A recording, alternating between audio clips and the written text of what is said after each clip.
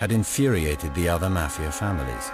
He was breaking the mafia vow of omerta, meaning silence.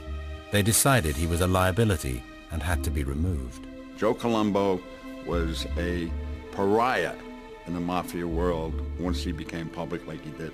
He was getting crazy with power and he was told to stop and it didn't stop, so. If there was no Joe Colombo, there was no league.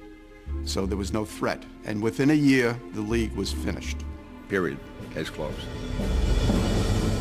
Colombo fell into a coma from which he never recovered. He died seven years later.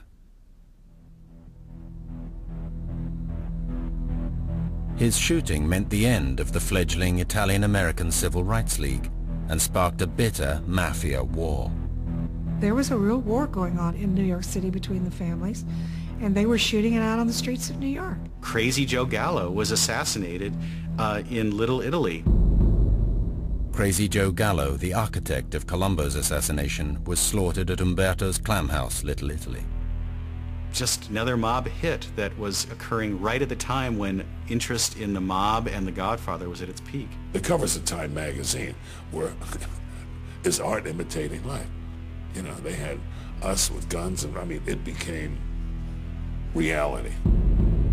After two years of intimidation, protest, media condemnation, and a mafia hit, The Godfather was finally released.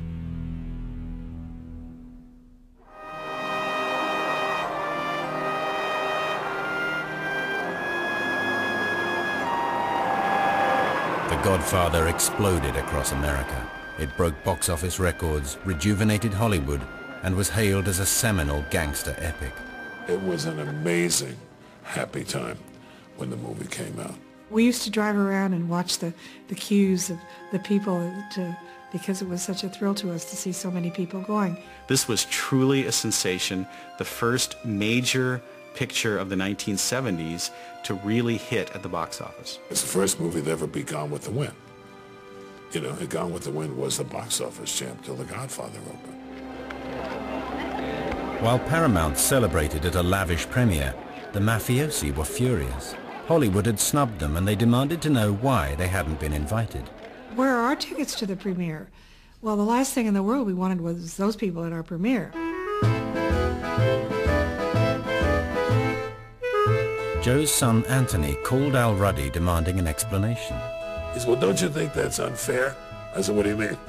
He said, Al, when Hollywood does a movie about the Army, the generals are the guests of honor. Then a movie about the Navy, the admirals are sitting up front. You think we'd be the goddamn guests of honor in this thing, except us, we can't see the movie. They were really getting ugly about the whole thing. So we decided to give them their very own premiere. When it was over, the projectionist called me. He said, I've been a projectionist for 25 years. Nobody ever gave me a $1,000 tip. That's how much they love the movie, literally. When the movie came out, the FBI immediately began to notice in its surveillance of real mob figures that the movie was having an influence on the way the real mob act.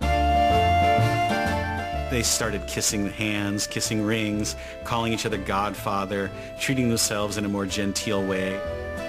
The Godfather, a film initially opposed by the Mafia, was now adopted by the Mafia. It was the ultimate irony. When we come in with the guns out and the whole routine, they got the tape of The Godfather in the television VCR, watching it. They loved it. The score of the Mafia movie, The Godfathers, became the mob's national anthem. If they knew who you were, like in my case, a law enforcement official, they would play it on purpose to piss you off, right? But it didn't piss us off. It made us laugh even more at them because we knew how ridiculous they were. The Mafia believed that The Godfather legitimized them. It was a legacy Coppola had never intended. Francis was very offended by the fact that the Mafia people took it as a tribute to them. He intended to show a side of culture that he was not terribly proud of, but to show them in, in, in their reality. But he didn't intend to glorify them. They had hijacked the movie just as they had hijacked the production. For the mob, The Godfather was now one of their own.